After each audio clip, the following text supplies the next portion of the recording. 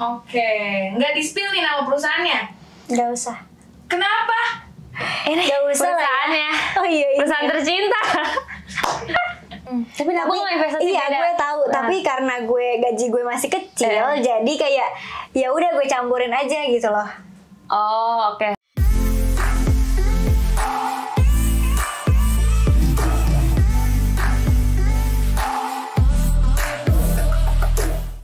gue Indi, 21 tahun, pekerjaan karyawan swasta. Eh, nama gue Dias umur gue 24 tahun kerjaan gue sosial media? Alhamdulillah di atas UMR. di atas ya cukup lah buat hidup di Jakarta sebenarnya nggak cukup tapi ya udah dicukup cukupin Hmm, kamu ini aduh, oke oke. Agak hedon berarti ya. Ya gitu Kalau gue gaji privacy tapi ya cukup lah buat menuin gaya hidup. Nah, dari gaji itu, ada nggak sih kalian punya Kalau gue ini income tambahan jadi talent kantor. kalau gue talent kantor juga sama kayak Indi terus sama Endorse. ada beberapa endorse juga Mm-mm, selebgram bestie. enggak Kalau investasi itu kita menyisihkan uang untuk kita simpan dalam jangka panjang untuk tujuan tertentu. ke gue sebenarnya tujuannya lebih kayak ke save money aja sih gitu kayak nabung tapi ya buat mencapai tujuan keuangan gue selanjutnya gitu Tapi nabung sama biar kayak investasi tuh biar beda. kayak financial freedom Hmm, tapi nabung sama investasi iya beda. gue tahu Nah. tapi karena gue gaji gue masih kecil jadi kayak ya udah gue campurin aja gitu loh Oh, oke oke oke. Oke, di umur berapa sih kalian berdua? Eh, gue di umur 18 tahun waktu kuliah semester 1. dua dua kayaknya deh Hmm. eh enggak dua satu Lulus kuliah itu ya berarti? ah enggak gue lulus kuliah itu 2000 kemarin Oh. 2021 umur berapa ya gue kemarin berarti tahun 2022. oh gue umur 22 tahun sebelum lulus berarti udah mulai investasi ya? reksadana RDPU Dia reksadana gue saham. Kalau gue waktu pertama itu reksadana saham, tapi sekarang nyari yang syariah tapi pendapatan tetap.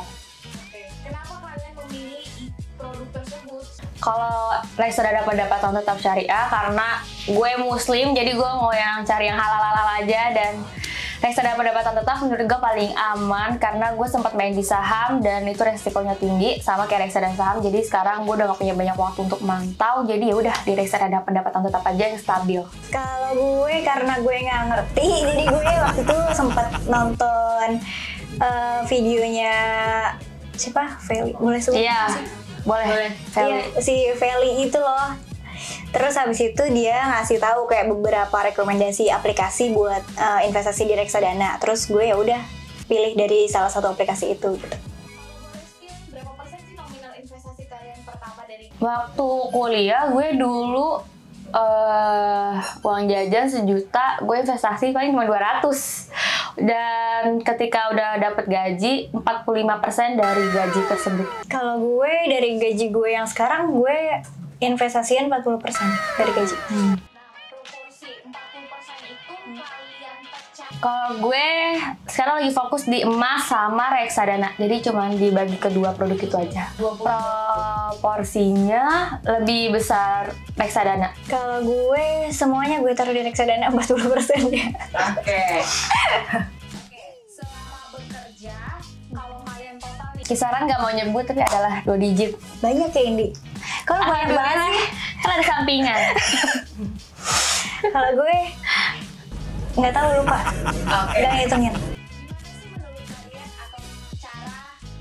Kalau gue kan tadi investasi 45%, jadi sisanya itu eh, 6 eh 55% ya. 55% itu eh, gue bagi ada untuk transport, terus untuk kebutuhan primer ya kayak kota, skincare. Kemudian sisanya baru sih dipakai buat kayak healing, belanja, dan kegiatan sosial dan bersedekah.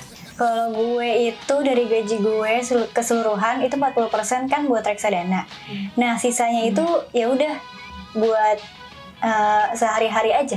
Sama termasuk beli baju, make up segala macam gitu ya maksudnya. Apa sih tujuan kalian berinvestasi? Kalau gue untuk financial freedom sama kalau untuk sekarang sih fokus ke rumah dulu ya. Kalau nikah di KUA juga nggak apa-apa. Karena lagi zaman ya kan. Iya, betul. Nikah di KUA, hmm, nggak usah resepsi, mending beli rumah daripada ngontrak. Kalau gue itu lebih kayak ke ini sih financial freedom terus juga biar apa ya biar susah ditarik gitu loh karena kalau ATM gampang kan Hmm. ditariknya Kalau reksadana kan tujuh hari ya maksimal. nah Iya. itu kan males kan nungguin jadi kayak ya deh nggak usah emas juga harus ke pegadaian dulu, jual aduh ribet. iya Jadi investasi dari sekarang guys. Eh, gue ada target di umur 24 untuk 100 juta pertama jadi gue nargetin berarti 4 tahun 4 tahun di reksadana kemudian kalau untuk yang lainnya belum kepikiran sih baru mikirin target 100 juta pertama dulu. Kalau gue karena gue nggak ngerti jadi gue kayak ya udah yang penting gue bisa save money aja gitu loh. Bagus. Menonton video ini, apa yang kalian mau ngomong? Hmm. mulai investasi sedini mungkin Hmm. sih karena eh, kalau semakin tua pasti kayak semakin apa ya mungkin larut sama banyak kebutuhan yang lain gak sih? Iya. Pasti dan juga kita nggak bisa langsung investasi dalam jumlah nominal besar jadi dimulai dulu lah dari yang kecil. Bahkan Betul. eh, gaji UMR pun kita kalau kita bisa menahan gaya hidup dan menghilangkan gengsi pasti bisa. Kalau misalnya gue berhasil 100 juta pertama eh, lo berarti keren banget bisa berhemat dan menahan ego untuk menyenangkan diri dan pokoknya Indi semoga nanti kalau target 100 juta pertama berarti lu eh, mampu untuk menahan gaya hidup lo dan mengepres semuanya untuk masa depan. lima tahun lagi? Kayak gue kaya deh. Amin, amin ya Allah. jadi gue nonton video ini kayak yang udah tenang aja. Lu juga pasti ada kok nanti